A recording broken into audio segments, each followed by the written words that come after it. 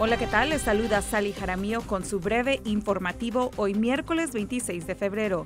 Un chofer que intentó atraer a un menor con fines sexuales comparecerá ante un juez hoy.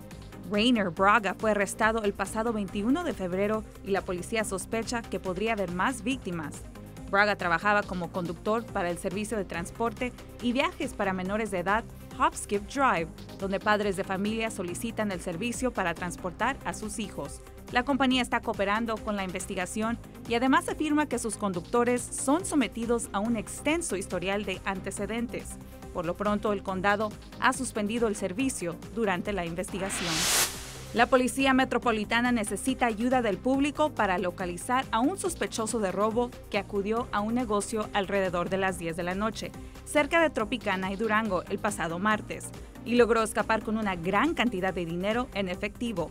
Si lo reconoce, llame a la policía o anónimamente a Crime Stoppers.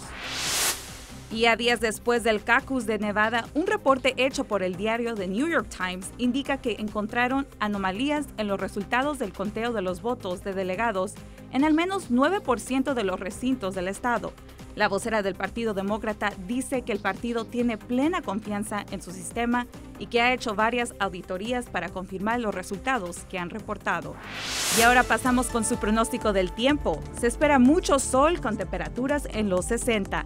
Para mañana subiremos a los 70. Yo soy Sally Jaramillo y esto fue 8 News Now en español.